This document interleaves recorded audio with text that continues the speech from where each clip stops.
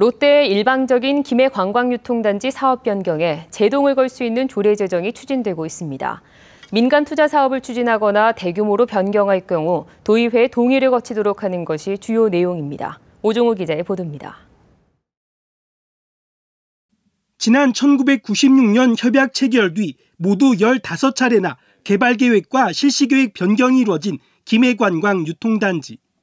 그 사이 공사 기간만 7차례 연장이 돼 롯데에 끌려다녔다는 비판이 컸습니다. 롯데는 여기에 더해 테마파크 대신 아울렛 확장과 아파트를 건설하는 사업 계획 변경을 포기하지 않고 있습니다. 계열사 간에 뭐 이제 뭐 이게 같이 물려 있는 얘기다 보니까 같이 뭐, 뭐 협의가 좀 있어야 되는 부분이 있고.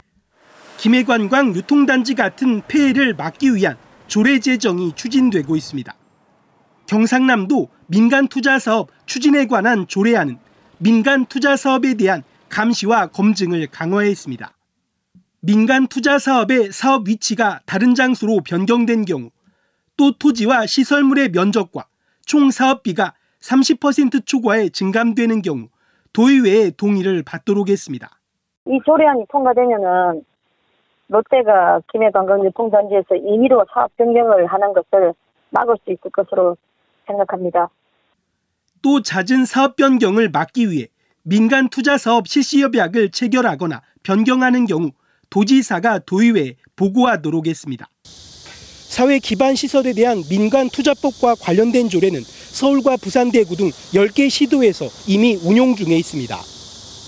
경남도의회가 롯데의 일방적인 사업계획 변경을 조례로 제동을 걸 수 있을지 주목됩니다. KBS 뉴스 오종우입니다.